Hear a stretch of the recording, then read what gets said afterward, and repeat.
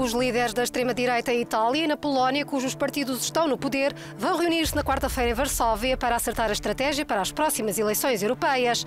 O polaco Jaroslav Kaczynski e o italiano Matteo Salvini pretendem criar um novo grupo eurocético no Parlamento Europeu, de acordo com o jornal italiano La Repubblica.